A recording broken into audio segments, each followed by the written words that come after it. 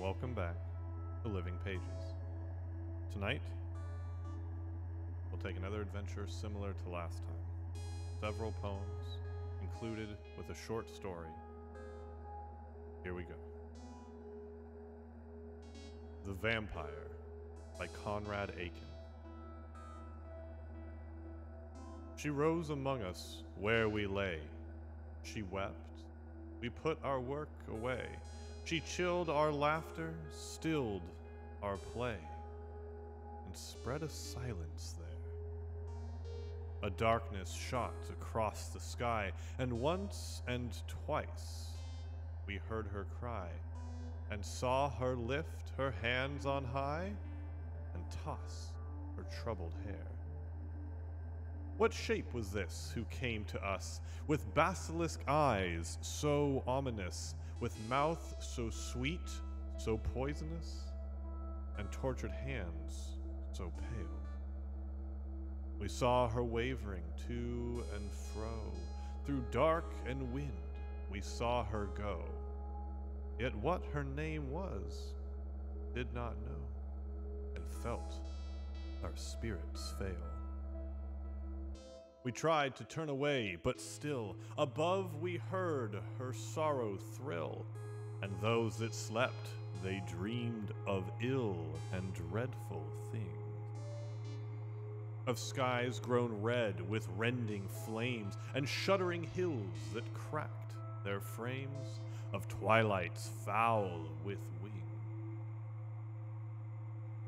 and skeletons dancing to a tune, and cries of children stifled soon, and over all a blood red moon, a dull and nightmare sighs. They woke and sought to go their ways, yet everywhere they met her gaze, her fixed and burning eyes. Who are you now? we cried to her spirit so strange and sinister. We felt dead winds above us stir, and in the darkness heard a voice fall singing, cloying sweet, heavily dropping through that heat, heavy as a honeyed pulse's beat, slow word by anguished word. And though the night strange music went, with voice and cry so darkly blent. We could not fathom what they meant, save only that they seemed to thin the blood along our veins, foretelling vile, delirious pains, and clouds divulging blood red rains upon a hill undreamed. And this we heard who dies for me, he shall possess me secretly, and terrible beauty he shall see, and slake my body's flame. But who denies me, cursed shall be, and slain and buried loathsomely, and slimed upon with shame. And darkness fell, and like a sea of stumbling deaths, we followed, we who dared not stay behind. There, all night long, beneath a cloud, we rose and fell, we struck and bowed. We were the plowmen and the plowed, our eyes were red and blind. And some, they said, had touched her side before she fled us there, and some had taken her to bride, and some lay down for her and died, who had not touched her hair, ran to and fro and cursed and cried, and sought her everywhere. Her eyes have feasted on the dead, and small and shapely is her head, and dark and small her mouth, they said, and beautiful to kiss. Her mouth is sinister and red as blood in moonlight is. Then poets forgot their jeweled words and cut the sky with glittering swords. And innocent souls turned carrion birds to perch upon the dead. Sweet daisy fields were drenched with death. The air became a charnel breath. Pale stones were splashed with red.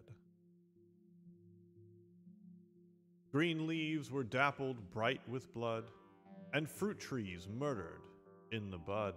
And when at length the dawn came green as twilight from the east, and all that heaving horror ceased, silent was every bird and beast, and that dark voice was gone.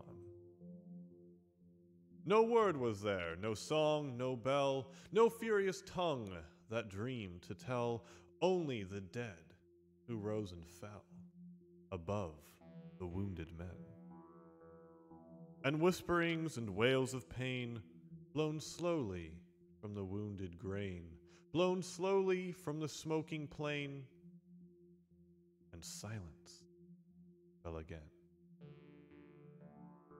Until at dusk, from God knows where, beneath dark birds that filled the air, like one who did not hear or care, under a blood red cloud.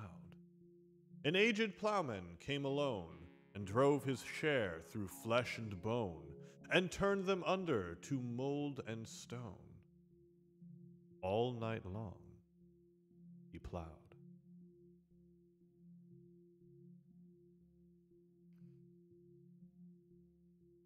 The Haunted Palace by Edgar Allan Poe. In the greenest of our valleys, by good angels tenanted, once a fair and stately palace, radiant palace, reared its head. In the monarch thought's dominion, it stood there, never seraph spread opinion over fabric half so fair. Banners yellow, glorious, golden, on its roof did float and flow. This, all this, was in the olden time long ago. And every gentle air that dallied in that sweet day, along the ramparts plumed and pallid, a winged odor went away. Wanderers in that happy valley, through two luminous windows, saw spirits moving musically.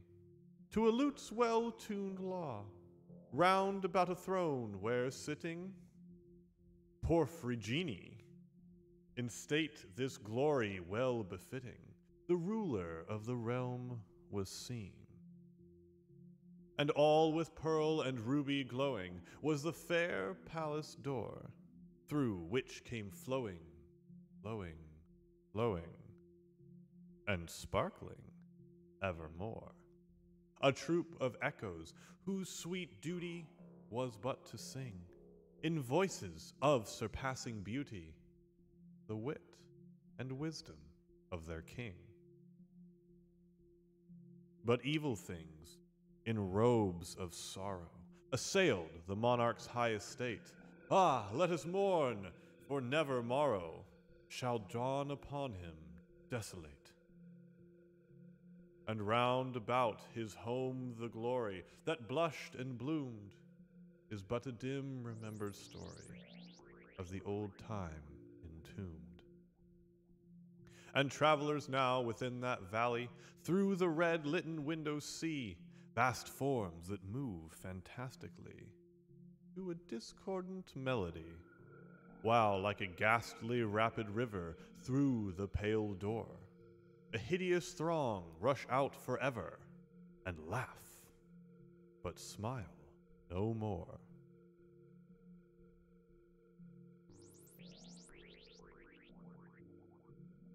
Lenore by Edgar Allan Poe.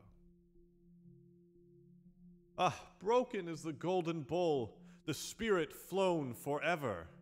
Let the bell toll, a sanity soul floats on the Stygian river. And Guy de Vere, hast thou no tear? Weep now or never more. See, on yon drear and rigid bier, low lies thy love, Lenore. Come, let the burial rite be read, the funeral song be sung an anthem for the queenliest dead that ever died so young. a dirge for her, the doubly dead, in that she died so young. Wretches, ye loved her for her wealth, and hated her for her pride. And when she fell in feeble health, ye blessed her that she died. How shall the ritual then be read, the requiem how be sung? By you, by yours, the evil eye, by yours, the slanderous tongue, that did to death the innocent that died, and died so young. Peccavimus, but rave not thus, and let a Sabbath song go up to God so solemnly the dead may feel so wrong. The sweet Lenore hath gone before, with hope that flew beside, leaving thee wild for the dear child that should have been thy bride. For her, the fair and debonair, that now so lowly lies, the life upon her yellow hair, but not within her eyes. The life still there upon her hair, the death upon her eyes. Avaunt! Tonight my heart is light, no dirge will I upraise but waft the angel on her flight with a paean of old days. Lest no bell toll, lest her sweet soul, amid its hallowed mirth, should catch the note as it doth float up from the damned earth. To friends above, from fiends below, the indignant ghost is riven from hell unto a high estate far up within the heaven from grief and groan, a golden throne beside the King of heaven.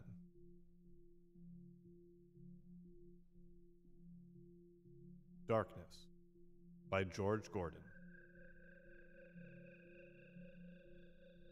I had a dream, which was not all a dream.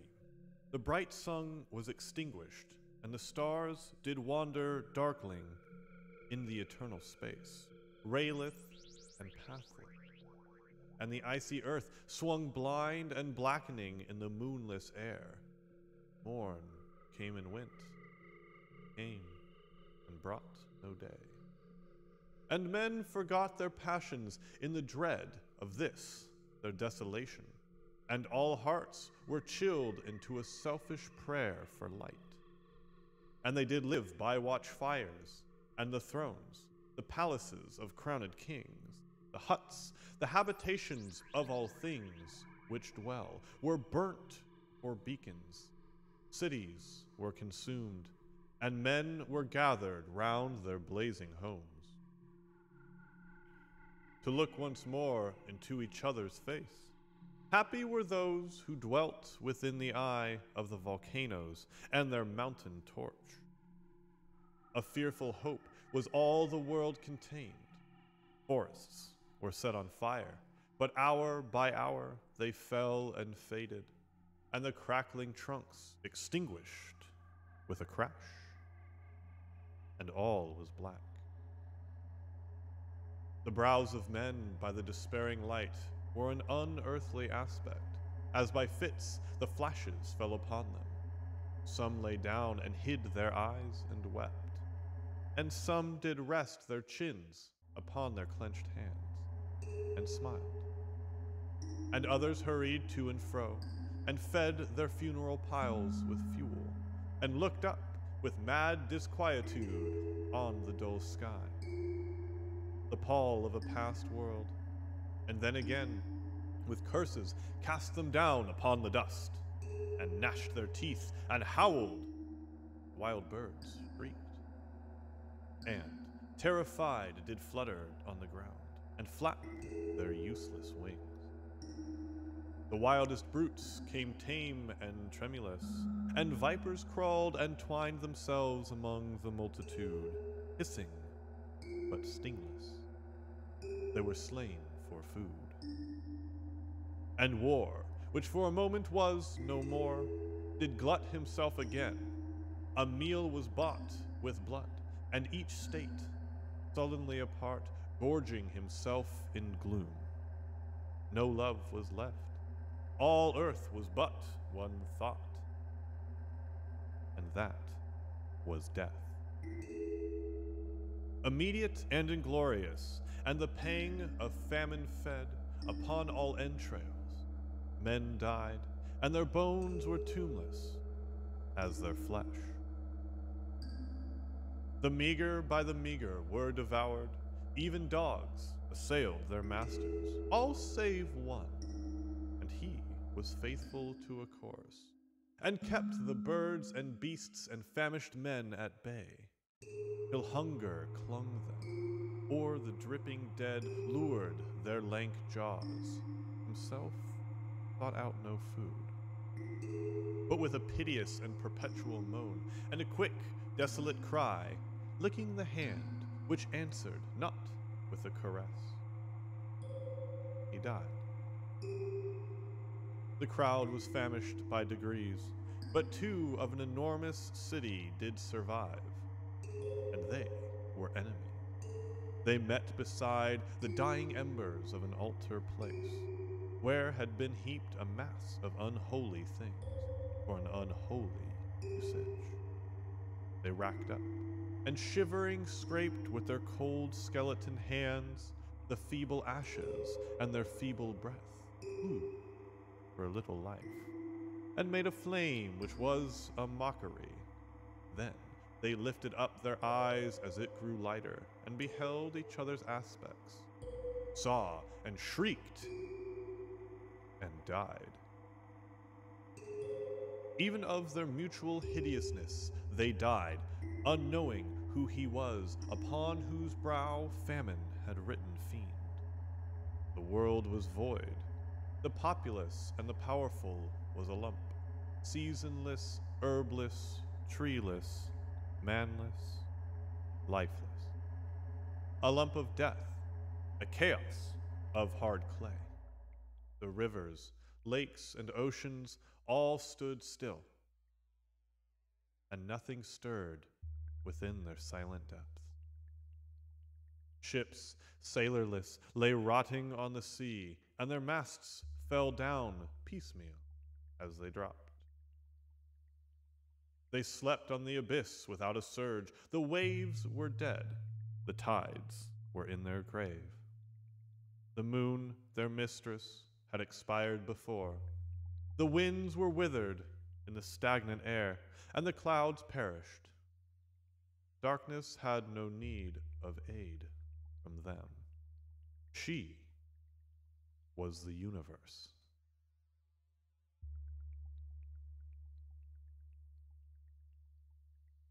The Spider and the Fly, Mary Howitt.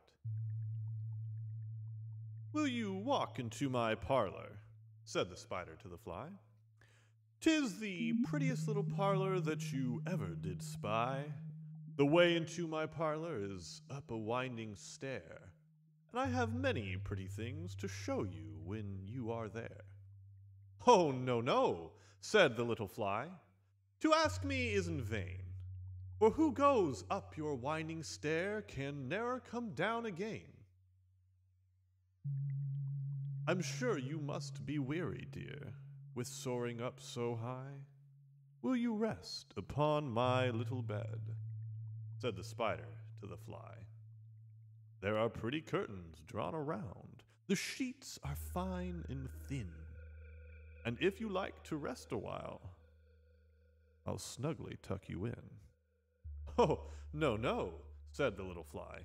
I've often heard it said they never, never wake again who sleep upon your bed. Said the cunning spider to the fly, Dear friend, what shall I do to prove the warm affection I've always felt for you? I have within my pantry good store of all that's nice. I'm sure you're very welcome. Will you please take a slice? Oh, no, no, said the little fly. Kind sir, that cannot be. I've heard what's in your pantry, and I do not wish to see. Sweet creature, said the spider, you're witty and you're wise. How handsome are your gauzy wings, how brilliant are your eyes. I have a little looking glass upon my parlor shelf. If you'll step in one moment, dear, you shall behold yourself. Thank you, gentle sir, she said, for what you're pleased to say, and bidding you good morning now. I'll call another day. The spider turned him round about and went into his den. For well he knew the silly fly would soon be back again. So he wove a subtle web in a little corner sly, and set his table ready to dine upon the fly. Then he came out to his door again, and merrily did sing, Come hither, hither, pretty fly, with the pearl and silver wing. Your robes are green and purple, there's a crest upon your head. Your eyes are like the diamond bright, but mine are dull as lead. Alas, alas, how very soon this silly little fly, hearing his wily, flattering words, came slowly flitting by. With buzzing wings she hung aloft, then near and nearer she drew, thinking only of her brilliant eyes and green and purple hue. Thinking only of her crested head, poor foolish thing! At last he jumped upon the cunning spider and fiercely held her fast. He dragged her up his winding stair and into his dismal den, within his little parlor, but she never came out again. And now, dear little children, who may this story read, to idle, silly, flattering words, I pray you ne'er give heed. Unto an evil counselor, close heart and ear and eye, and take a lesson from this tale of the spider and the fly.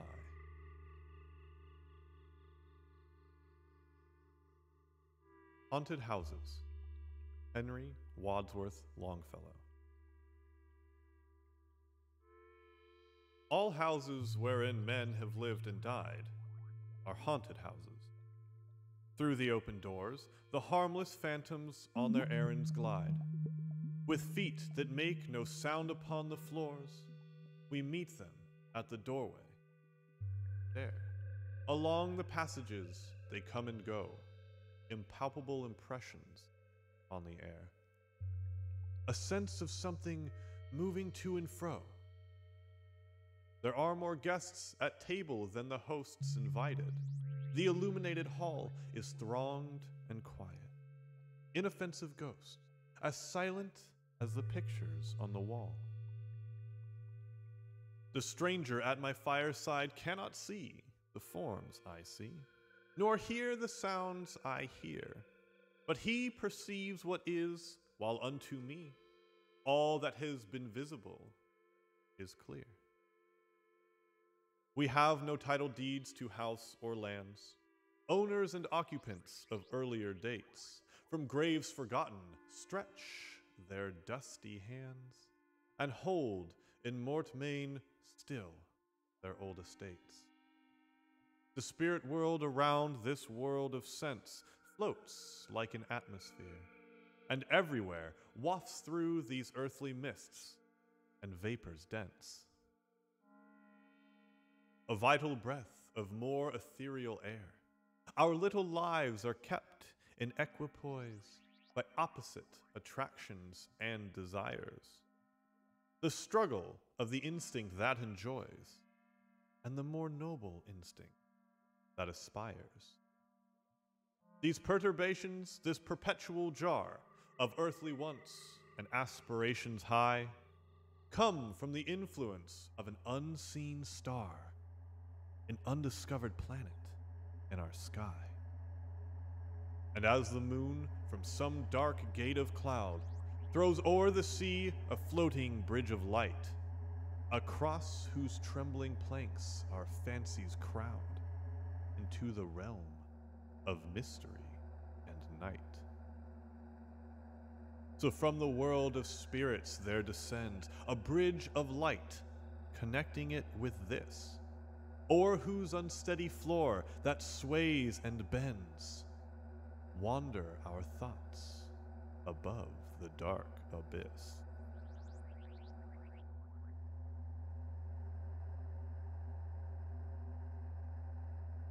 Next, we have a series of poems by A.E. Housman, all of which are the title of their first line.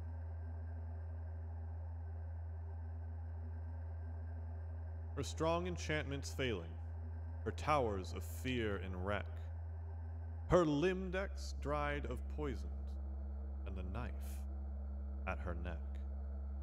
The queen of air and darkness begins to shrill and cry, O young man, O my slayer! Tomorrow you shall die. O queen of air and darkness, I think 'tis truth you say, and I shall die tomorrow. But you will die today.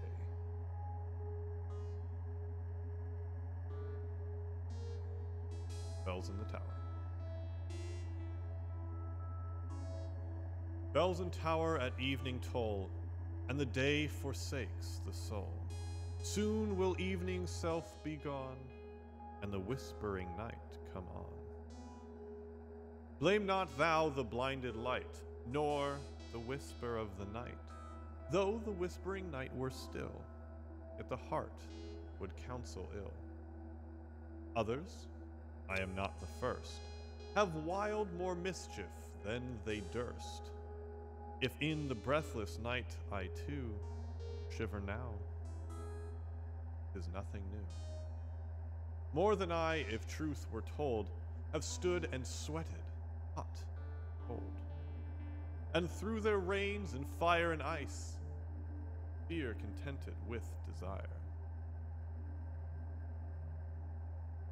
Agued, once like me they were, but I like them shall win my way. Lastly, the bed of mold, where there's neither heat nor cold. But from my grave across my brow plays no wind healing now, and fire and ice within me fight beneath suffocating night. The immortal part when I meet the morning beam, or lay me down at night to dream. I hear my bones within me say, Another night another day. When shall this slough of sense be cast, this dust of thoughts be laid at last? The man of flesh and soul be slain, and the man of bone left to remain. This tongue that talks, these lungs that shout, these thews that hustle us about, this brain that fills the skull with schemes and its humming hive These today are proud in power and lord it in their little hour. The immortal bones obey control of dying flesh and dying soul. Is long till eve and morn are gone, slow the endless night comes on, and late to fullness grows the birth that shall last as long as the earth. Wanderers eastward, wanderers west.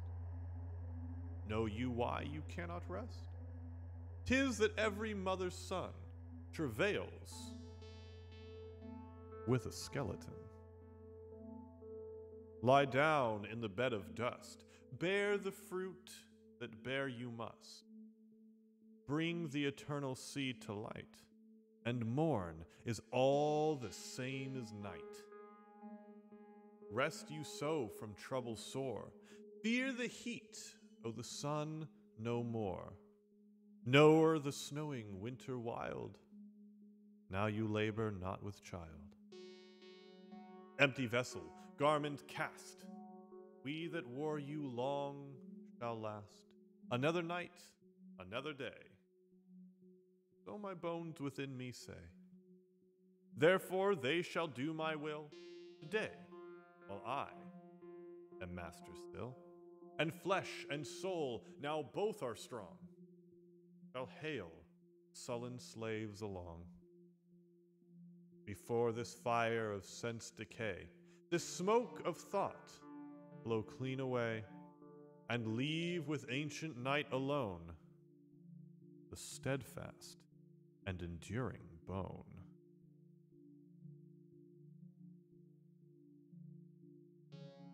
A Dream Within a Dream by Edgar Allan Poe.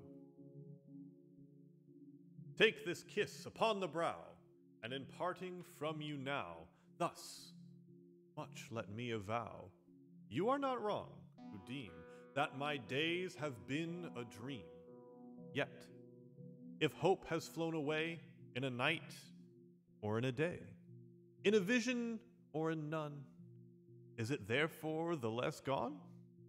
All that we see or seem is but a dream within a dream. I stand amid the roar of a surf tormented shore, and I hold within my hand grains of the golden sand. How few, yet how they creep through my fingers to the deep.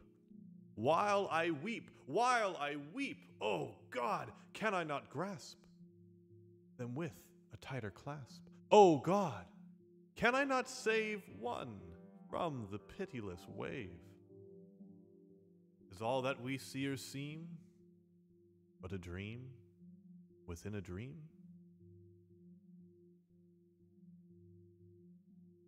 Because I could not stop for death. Emily Dickinson.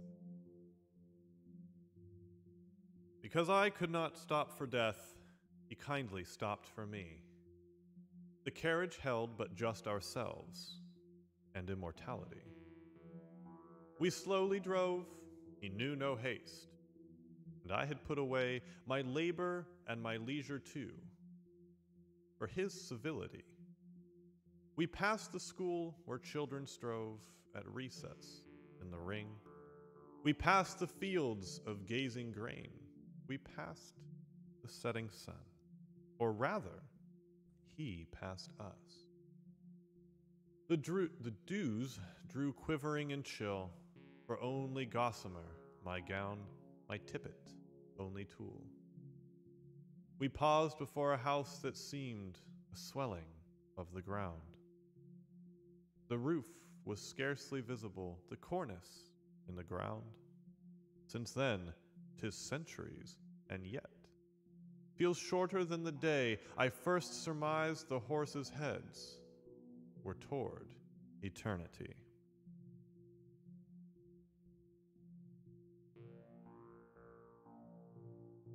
The Little Ghost, Edna St. Vincent Millay. I knew her for a little ghost that in my garden walked. The wall is high, higher than most, and the green gate was locked. And yet, I did not think of that till after she was gone. I knew her by her broad white hat, all ruffled she had on. By the dear ruffles round her feet, by her small hands that hung in their lace mitts, austere and sweet her gown's white folds among.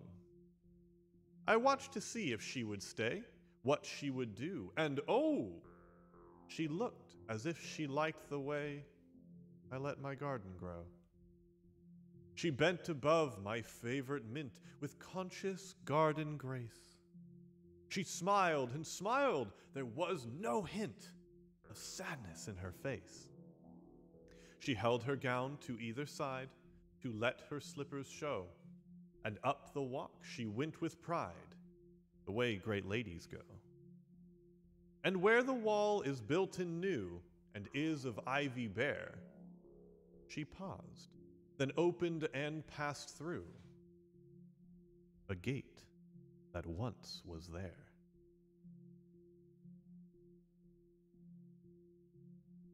Song of the Witches Double, double, Toil and Trouble by William Shakespeare from Macbeth. Double, double, toil and trouble, fire burn and cauldron bubble. fillet of a fenny snake, in the cauldron boil and bake. Eye of newt and toe of frog, wool of bat, and tongue of dog. Adder's fork and blind worm's sting, lizard's leg and howlet's wing. For a charm of powerful trouble, like a hell broth, boil and bubble. Double, double, toil and trouble, fire burn and cauldron bubble. Cool it with a baboon's blood, then the charm is firm and good.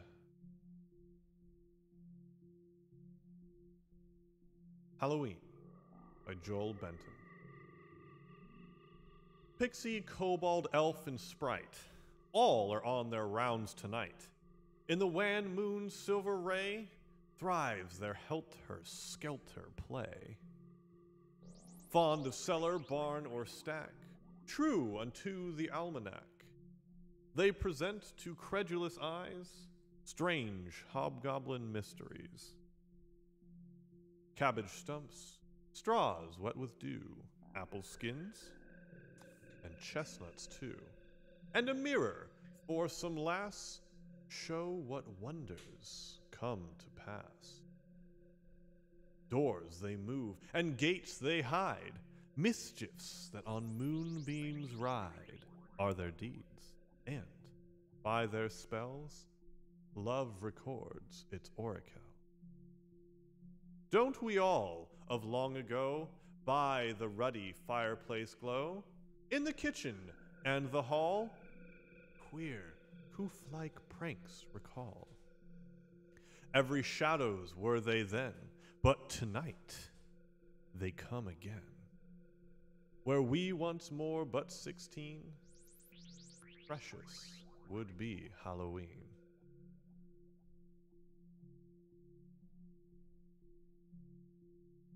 Yule Horror by H.P. Lovecraft.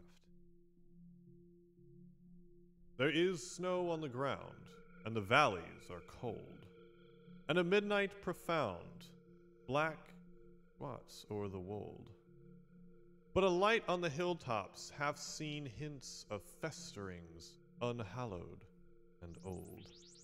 There is death in the clouds, there is fear in the night for the dead in their shrouds hail the sins turning flight, and chant wild in the woods as they dance round a Yule altar, fungus and white.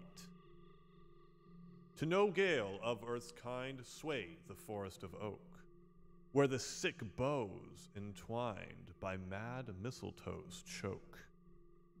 For these powers are the powers of the dark, from the graves of the lost druid folk.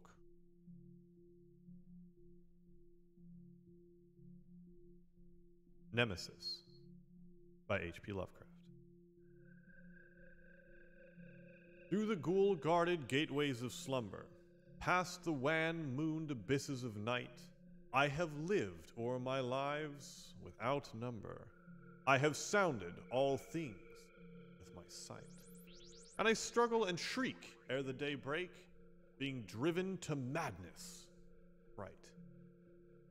I have whirled with the earth at the dawning, when the sky was a vaporous flame. I have seen the dark universe yawning, where the black planets roll without aim. Where they roll in their horror unheeded, without knowledge or luster or name. I had drifted o'er seas without ending, under sinister gray clouded skies, that the many forked lightning is rending, that resound with hysterical cries, with the moans of invisible demons that out of the green waters rise. I have plunged like a deer through the arches of the hoary primordial grove, where the oaks feel the present that marches and stalks on where no spirit dares rove. And I flee from a thing that surrounds me and leers through dead branches above.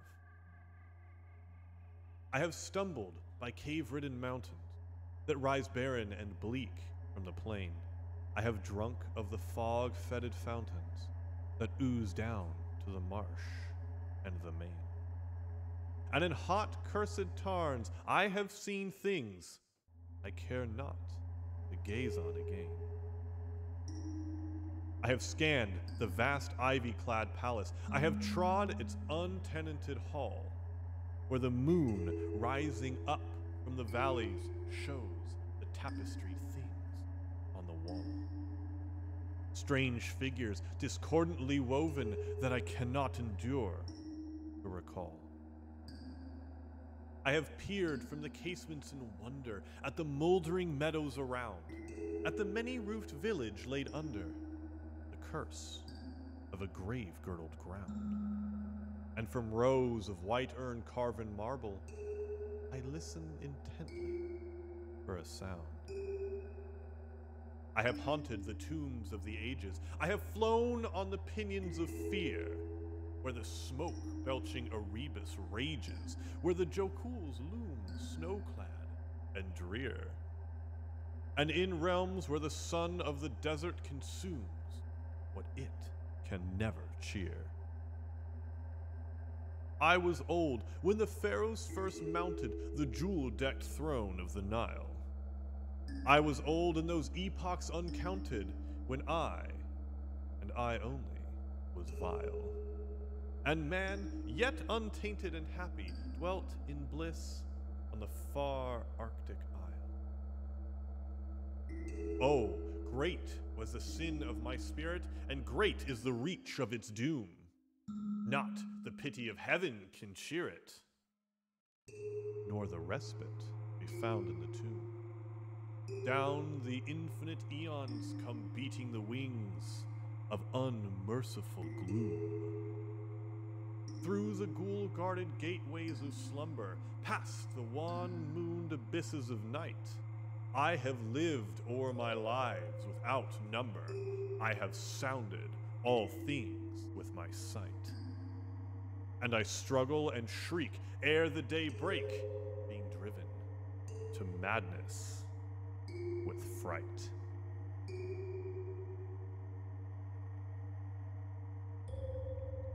Ghost, Walter de la Mare. Who knocks? I, who was beautiful, beyond all dreams to restore. I, from the roots of the dark thorn, am hither, and knock on the door. Who speaks? I once was my speech, sweet as the birds on the air. When echo lurks by the waters to heed, his I speak thee fair. Dark is the hour, aye, and cold, lone is my house. Ah, but mine? Sight, touch, lips, ears yearned in vain. Long dead these to thine. Silent, still faint on the porch, break the flames of the stars. In gloom groped a hope wearied hand over keys, bolts, and bars. A face peered, all the gray night in chaos of vacancy shone. Not but vast sorrow was there, the sweet sheet gone.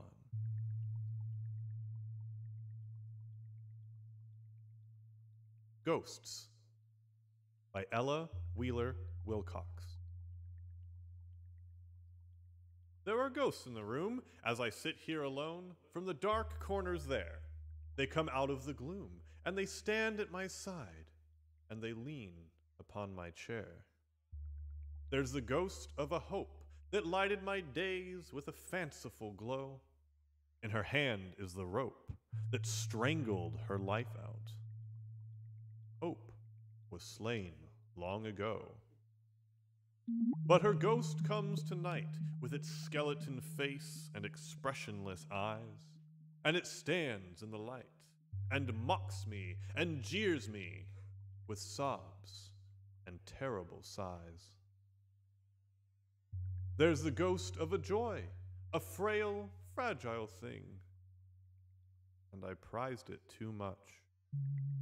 And the hands that destroy clasped it close, and it died at the withering touch. There's the ghost of a love, born with a joy, reared with hope, died in pain and unrest. But the towers above, all the others, this ghost, yet a ghost at the best. I am weary and fain, would forget all these dead, but the gibbering host make my struggle in vain.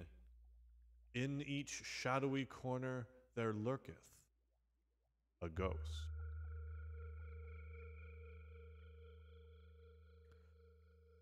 Mary's Ghost, a pathetic ballad by Thomas Hood. It Was in the middle of the night, to sleep young William tried, when Mary's ghost came stealing in and stood at his bedside. Oh, William dear, oh, William dear, my rest eternal ceases.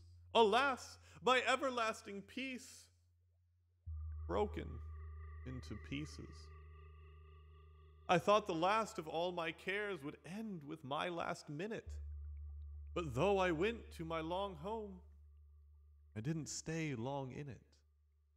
The body snatchers, they have come and made a snatch at me.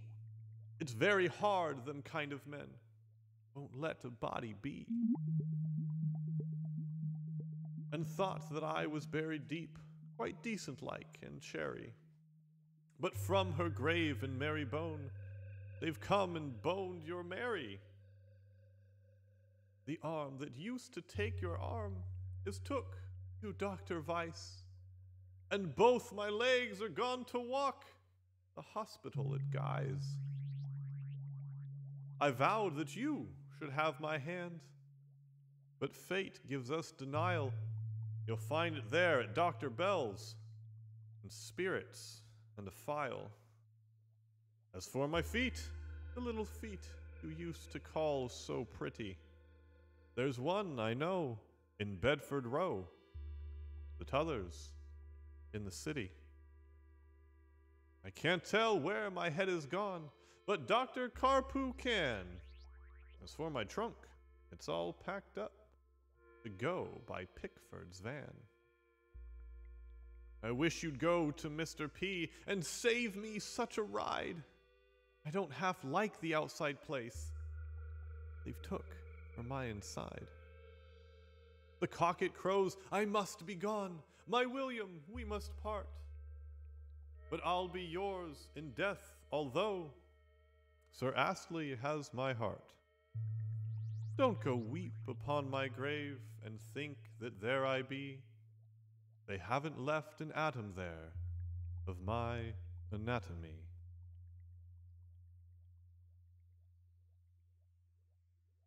Astrophobos by H.P. Lovecraft. In the midnight heavens burning, through the ethereal deeps afar, once I watched with restless yearning an alluring aureate star. Every eve aloft returning, gleaming nigh the Arctic car. Mystic waves of beauty blended with the gorgeous golden rays. Fantasies of bliss descended in a mirrored Elysian haze. In the lyre born chords extended harmonies of Lydian lays. And, thought I, lies scenes of pleasure where the free and blessed dwell, and each moment bears a treasure, frighted with the lotos spell and there floats a liquid measure from the lust of Israfel. There, I told myself, were shining words of happiness unknown, peace and innocence entwining. By the crowned vulture's throne, men of light, their thoughts refining, purer, fairer than my own. Thus I mused when o'er the vision crept a red, delirious change. Hope dissolving to derision, beauty to distortion strange. Hymnic chords in weird collision, spectral sights in endless range. Crimson burned the star of madness as behind the beams I peered. All was woe that seemed but gladness, ere my gaze with truth was seared. Cacodemons, mired with madness, through the fevered, flickering leered. Now I know the fiendish fable the golden glitter bore. Now I shun the spangled saber that I watched and loved before. But the horror set and stable haunts my soul forevermore.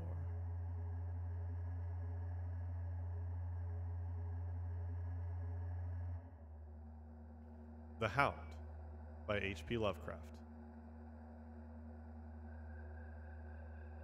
In my tortured ears there sounds unceasingly a nightmare whirring and flapping, and a faint, distant baying, as of some gigantic hound. It is not a dream. It is not, I fear, even madness. For too much has already happened to give me these merciful doubts. St. John is a mangled corpse. I, alone know why, and such is my knowledge that I am about to blow out my brains, for fear I shall be mangled in the same way. Down unlit and illimitable corridors of eldritch fantasy sweeps the black, shapeless nemesis that drives me to self annihilation. May heaven forgive the folly and morbidity which led us both to so monstrous a fate. Wearied with the commonplaces of a prosaic world, where even the joys of romance and adventure soon grew stale. St. John and I had followed enthusiastically every aesthetic and intellectual movement which promised respite from our devastating ennui. The enigmas of the symbolists and the ecstasies of the pre Raphaelites all were ours in their time. But each new mood was drained too soon of its diverting novelty and appeal. Only the somber philosophy of the decadence could hold us, and this we found potent only by increasing gradually the depth and diabolism of our penetrations.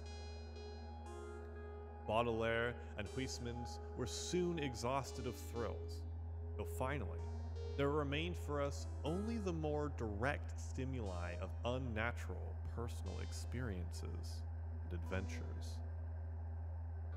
It was this frightful emotion which need led us eventually to that detestable course which, even in my present fear, I mention with shame and timidity.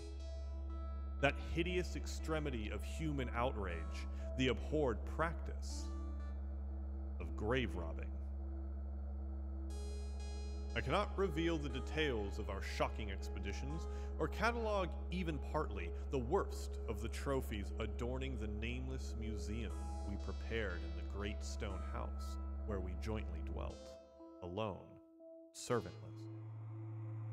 Our museum was a blasphemous, unthinkable place where, with the satanic taste of neurotic virtuosi, we had assembled a universe of terror and decay to excite our jaded sensibilities. It was a secret room, far, far underground, where huge winged demons, carven of basalt and onyx, vomited from wide, grinning mouths weird green and orange light, and hidden pneumatic pipes ruffled into kaleidoscopic dances of death the lines of red charnel things, hand in hand, woven in voluminous black hangings. Through these pipes came at will the odors of our moods most craved. Sometimes the scent of pale funeral lilies, sometimes the narcotic incense of imagined eastern shrines of the kingly dead. And sometimes, how I shudder to recall it, the frightful, soul upheaving stenches of the uncovered grave. Around the walls of this repellent chamber were cases of antique mummies, alternating with comely, lifelike bodies perfectly stuffed and cured by the taxidermist's art, and with headstones snatched from the oldest churchyards of the world. Niches here and there contained skulls of all shapes and heads preserved in various stages of dissolution. There one might find the rotting, bald pates of famous noblemen, and the fresh and radiantly golden heads of new buried children. Statues and paintings there were, all of fiendish subjects, and some executed by St. John and myself. A locked portfolio, bound in tanned human skin, held certain unknown and unnameable drawings, which it was rumored Goya had perpetuated, but dared not acknowledge. There were nauseous musical instruments, stringed, brass, and woodwind, on which St. John and I sometimes produced dissonances of exquisite morbidity and cacodemoniacal ghastliness. Whilst in a multitude of inlaid ebony cabinets reposed the most incredible and unimaginable variety of tomb loot ever assembled by human madness and perversity. It is of this loot in particular that I must not speak. Thank God I had the courage to destroy it long before I thought of destroying myself. The predatory excursions on which we collected our unmentionable treasures were always artistically memorable events. We were no vulgar ghouls, but worked only under certain conditions of mood, landscape, environment, weather, season, and moonlight. These pastimes were to us the most exquisite form of aesthetic expression, and we gave their details a fastidious technical care. An inappropriate hour, a jarring lighting effect, or a clumsy manipulation of the damp sod would almost totally destroy for us that ecstatic titillation which followed the exhumation of some ominous, grinning secret of the earth. Our quest for novel scenes and piquant conditions was feverish and insatiate. St. John was always the leader, and he it was who led the way at last to that mocking, that accursed spot, which brought us our hideous and inevitable doom. By what malign fatality were we lured to that terrible Holland churchyard?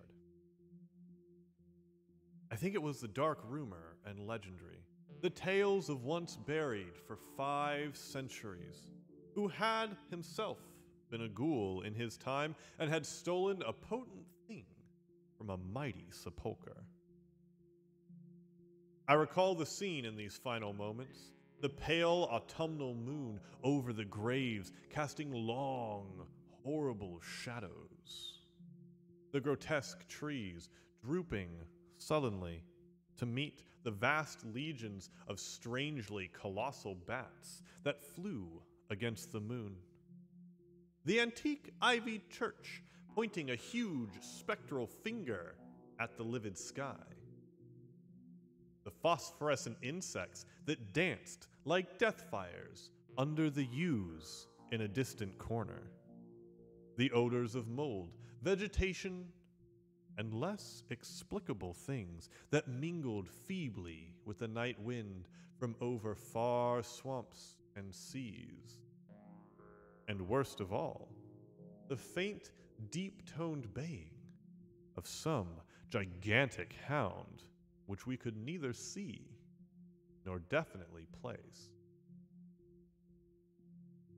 As we heard this suggestion of baying, we shuddered, remembering the tales of the peasantry.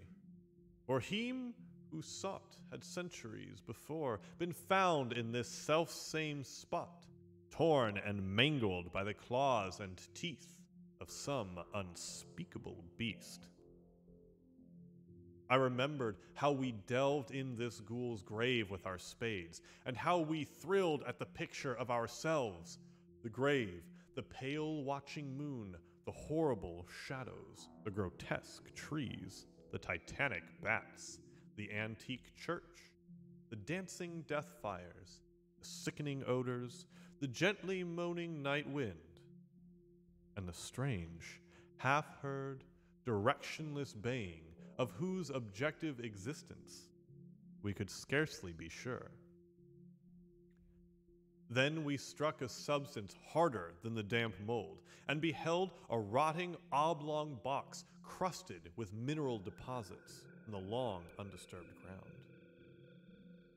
It was incredibly tough and thick, but so old that we finally pried it open and feasted our eyes on what it held. Much, amazingly much, was left of the object despite the lapse of 500 years. Skeleton, though crushed in places by the jaws of the thing that had killed it, held together with surprising firmness, and we gloated over the clean white skull and its long, firm teeth, and its eyeless sockets that once had glowed with a charnel fever like our own. In the coffin lay an amulet of curious and exotic design, which had apparently been worn around the sleeper's neck. It was the oddly conventionalized figure of a crouching winged hound, or sphinx, with a semi canine face, and was exquisitely carved in antique oriental fashion from a small piece of green jade. The expression on its features was repellent in the extreme, savoring at once of death, bestiality, and malevolence. Around the base was an inscription in characters which neither St. John nor I could identify. And on the bottom, like a maker's seal, was graven a grotesque and formidable skull. Immediately upon beholding this amulet, we knew that we must possess it, that this treasure was our logical pelf from the centuried grave. Even had its outlines been unfamiliar, we would have desired it. But as we looked more closely, we saw that it was not wholly unfamiliar. Alien indeed was to all art and literature which sane and balanced readers know. But we recognized it as the thing hinted of in the forbidden Necronomicon. The ghastly soul symbol of the corpse eating cult of inaccessible Lang in Central Asia. All too well did we trace the sinister lineaments described by the old demonologist. Lineaments, he wrote, drawn from some obscure supernatural manifestation of the souls of those who vexed and gnawed at the dead. Seizing the green jade object, we gave a last glance at the bleached and carven eyed face of its owner and closed up the grave as we had found it. As we hastened from that abhorrent spot, the stolen amulet in St. John's pocket, we thought we saw the bats descend in a body to the earth we had so lately rifled, as if seeking for some cursed and unholy nourishment. But the autumn moon shone weak and pale, and we could not be sure. So, too, as we sailed the next day away from Holland to our home, we thought we heard the faint, distant baying of some gigantic hound. But the autumn wind moaned, sad and wan, and we could not be sure. Less than a week after our return to England, strange things began to happen. We lived as recluses, devoid of friends, alone, and without servants, in a few rooms of an ancient manor house on a bleak and unfrequented moor, so that our doors were seldom disturbed by the knock of the visitor. Now, however, we were troubled by what seemed to be frequent fumblings in the night, not only around the doors, but around the windows also, upper as well as lower. Once we fancied that a large opaque body darkened the library window when the moon was shining against it. And another time, we thought we heard a whirring or flapping sound not far off. On each occasion, investigation revealed nothing, and we began to ascribe the occurrences to imagination alone. That same curiously disturbed imagination, which still prolonged in our ears the faint, far baying we thought we had heard in the Holland churchyard. The jade amulet now reposed in a niche in our museum, and sometimes we burned strangely scented candles before it. We read much in the Necronomicon about its properties and about the relation of ghouls' souls to the objects it symbolized, and were disturbed by what we read. Then terror came. On the night of September 24th, I heard a knock at my chamber door. Fancying it St. John's, I bade the knocker enter, was answered only by a shrill laugh. There was no one in the corridor. When I aroused St. John from his sleep, he professed entire ignorance of the event and became as worried as I. It was that night that, in the faint, distant baying over the moor, became to us a certain and dreaded reality. Four days later, whilst we were both in the hidden museum, there came a low, cautious scratching at the single door which led to the secret library staircase. Our alarm was now divided, for besides our fear of the unknown, we had always entertained a dread that our grisly collection might be discovered. Extinguishing all lights, we proceeded to the door and threw it suddenly open. Whereupon we felt an unaccountable rush of air and heard, as if receding far away, a queer combination of rustling, tittering, and articulate chatter. Whether we were mad, dreaming, or in our senses, we did not try to determine. We only realized, with the blackest of apprehensions, that the apparent disembodied chatter was beyond a doubt in the Dutch language. After that, we lived in growing horror and fascination. Mostly, we held to the theory that we were jointly going mad from our life of unnatural excitement. But sometimes it pleased us more to dramatize ourselves as the victims of some creeping and appalling doom. Bizarre manifestations were now too frequent to count. Our lonely house was seemingly alive with the presence of some malign being whose nature we could not guess. And every night, that demoniac baying rolled over the wind-swept moor, always louder and louder. On October 29th, we found in the soft earth beneath the library window a series of footprints, utterly impossible to describe. They were as baffling as the hordes of great bats which haunted the old manor house in unprecedented and increasing numbers. The horror reached a culmination on October 18th, when St. John, walking home after dark from the distant railway station, was seized by some frightful carnivorous thing and torn to ribbons. His screams had reached the house, and I had hastened to the terrible scene in time to hear a whir of wings and see a vague black, cloudy thing silhouetted against the rising moon. My friend was dying when I spoke to him, and he could not answer coherently. All he could do was whisper, The amulet! That damned thing! Then he collapsed, an inert mass of mangled flesh. I buried him the next midnight in one of our neglected gardens, and mumbled over his body one of the devilish rituals he had loved in life.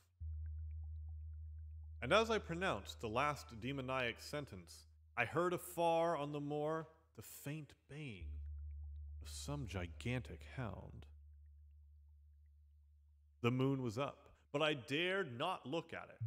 And when I saw on the dim litten moor a wide, nebulous shadow sweeping from mound to mound, I shut my eyes and threw myself face down upon the ground.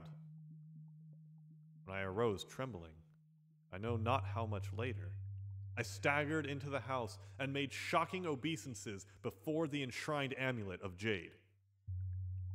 Being now afraid to live alone in the ancient house on the moor, I departed on the following day for London, taking with me the amulet, after destroying by fire the burial, the rest of the impious collection in the museum.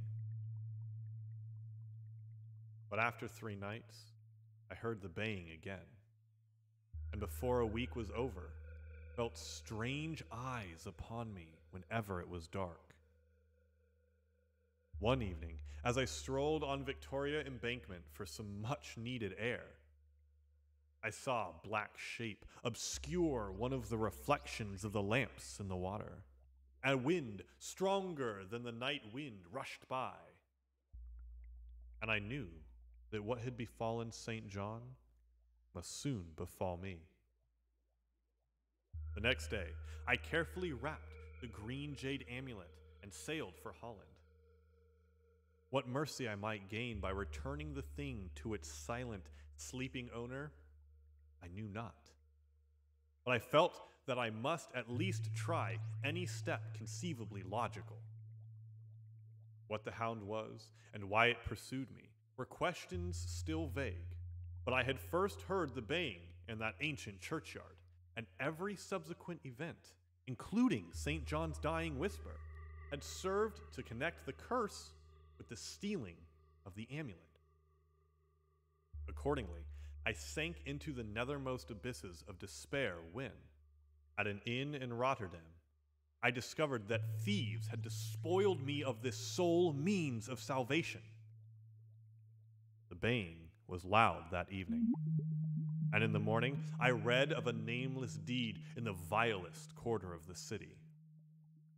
The rabble were in terror, for upon an evil tenement had fallen a red death beyond the foulest previous crime of the neighborhood.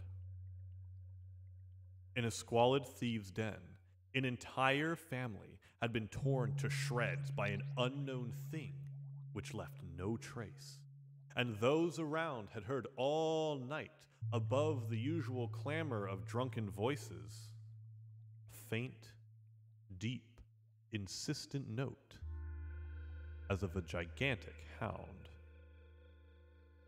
So at last, I stood again in that unwholesome churchyard where a pale winter moon cast hideous shadows and leafless trees drooped sullenly to meet the withered frosty grass, and cracking slabs. And the ivied church pointed a jeering finger at the unfriendly sky. And the night wind howled maniacally from over frozen swamps and frigid seas. The baying was very faint now, and it ceased altogether as I approached the ancient grave I had once violated and frightened away an abnormally large horde of bats which had been hovering curiously around it. I know not why I went thither, unless to pray, or gibber out insane pleas and apologies to the calm white thing that lay within. But, whatever my reason, I attacked the half frozen sod with a desperation partly mine and partly that of a dominating will outside myself. Excavation was much easier than I expected. Though, at one point, I encountered a queer interruption when a lean vulture darted down out of the cold sky and pecked frantically at the grave earth until I killed him with a blow of my spade. Finally, I reached the rotting oblong box and removed the damp nitrous cover. This is the last rational act I ever performed. For crouched within that centuried coffin, embraced by a close packed nightmare retinue of huge, sinewy, sleeping bats, was the bony thing my friend and I had robbed. Not clean and placid as we had seen it then, but covered with caked blood and shreds of alien flesh and hair, and leering sentient at me with phosphorescent sockets and sharp, ensanguinated fangs yawning twistedly in mockery of my inevitable doom. And when it gave from those grinning jaws a deep, sardonic bay as of some gigantic hound, and I saw that it held in its gory, filthy claw the lost and fateful amulet of green jade. I merely screamed and ran away idiotically, my screams soon dissolving into peals of hysterical laughter. Madness rides the star wind, claws and teeth, sharpened on centuries of corpses, dripping death astride a bacchanal of bats from night black ruins of buried temples of Belial. Now, as the baying of that dead, fleshless monstrosity grows louder and louder, and the stealthy whirring and flapping of those accursed web wings circles closer and closer. I shall seek with my revolver the oblivion which is my only refuge from the unnamed and unnameable.